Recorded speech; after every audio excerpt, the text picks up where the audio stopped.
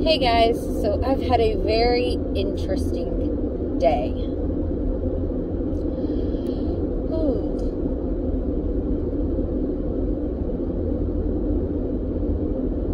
I, I don't even know where to begin.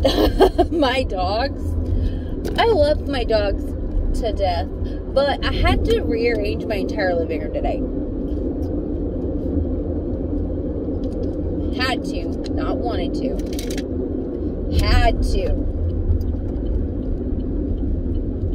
I have my couch up against my window, but I had to move it to the other side of the wall where my husband hates for the couch to be because we had a little bit of a bigger couch um, and we had it over against the other wall and he said that it was just always in the way and it annoyed him so we got a smaller couch and put it by the window but unfortunately i had to move the couch from the window and just rearrange it and that was frustrating. But i think because it's a smaller couch it's gonna work and i don't think my husband's gonna complain as much. But I had to do a a sewing patch on my couch because my 120 pound dog decided today he was going to climb in the window and dig his claws into my couch, which is something he never does. And I had a gaping hole about yay big that I had to sew. So I got it taken care of. I got the couch moved, and I like the way the living room looks and feels, and I can still move around pretty good. So I, I think it'll be fine.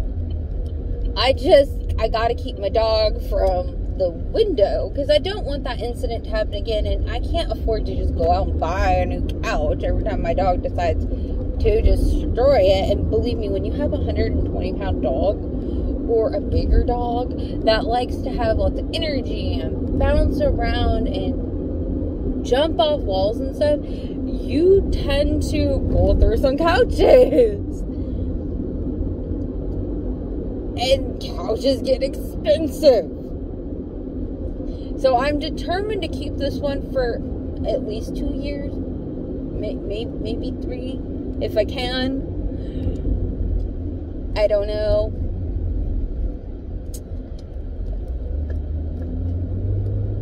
So I'm just gonna see. That's all I can do. But you know, I I go th- I tell you these little stories because I go through life. I struggle through with things. I struggle just like everybody else does. I am just a normal human being that deals with this crazy adventure we call life. Um, I've heard people call it a roller coaster. And through everything, I just have to say, like, God is in control. It's all going to be okay. Don't lose your mind because like my first my first reaction to seeing that rip in my couch because my dog wanted to tell the mailman a thing or two even though the mailman was already halfway down the driveway going to another house. I don't know. Um it just it, it just irritated me a little. And uh, he, you know, it. He's a dog. He loves to be brat and stuff. And my first reaction was I wanted to scream, I wanted to yell, I wanted to lose my mind because the dog had destroyed something. But you know what? In that moment, what went through my mind was if the rapture was to happen right now, would this couch really mean anything to me? Would it be valuable to me to. Is it really worth losing your mind over? It's just a couch. Everything is replaceable. That is material and and that just really helped me see things in a different way and go, you know, it's just a couch. And if the rapture were to happen right now, this couch would be invaluable to me. It would mean absolutely, yeah, it would mean absolutely nothing. So there's no need for me to get mad over this couch that literally I'm going to leave behind in the rapture anyway. And when you start look, I've noticed for me personally, when I start looking at things as as their material objects, it's it's not that's not what's important. What's important is giving honor, glory, and praise to our Lord and Savior Jesus Christ and making sure that his legacy is left behind. And that's really helped me not to get so angry at things and to, learn to let the little things go, like my husband cluttering up every little inch of my house. Which, okay, I will admit, I will let it go for a while, but I do get to the point where uh, I'll get a little bit angry, but I instead of yelling at my husband over it, I've gotten to the point where I just take all of his stuff from that one particular room and I move it to his two rooms in the house and I tell him do not put it back in my rooms or you will find yourself uh, permanently misplacing this stuff.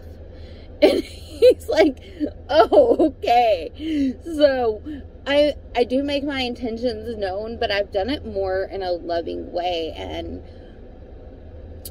you know, focusing on what's truly important, which is Jesus, and focusing on what we can do to leave his legacy behind and how we can become more Christ-like honestly helps me care less about the material things or my personal emotions.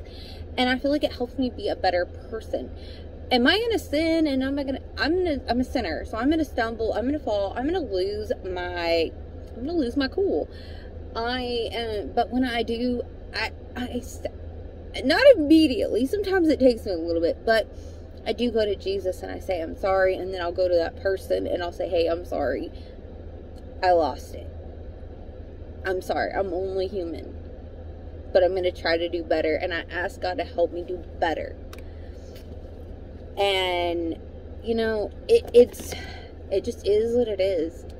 And I am so grateful that God is using every situation that I have to show me how more important he is and how less important this world is. The only thing that's worth anything in this world is the people for the harvest of Jesus and his legacy and spreading his gospel and his word and just trusting in Jesus because he will provide everything. He is the rock, He is the staff, and He is our strong fortress. Like, I am so grateful. I'm so happy that I have Jesus in my life. I, I'm so grateful that I don't have to. I don't have to fear because the Lord God is with me. They're all things. I, I'm so grateful that Jesus shows me Him and shows me how to live for Him while I'm here on this earth. Alright, you guys, I'm to get off here um, because, like I said, I do have some errands to run. Uh, I will talk to you later. You guys have a great day, and I cannot wait for the day of the rapture. Cannot wait for that day. Today is a good day for the rapture. If not, I'll see you in my next video. Bye, guys.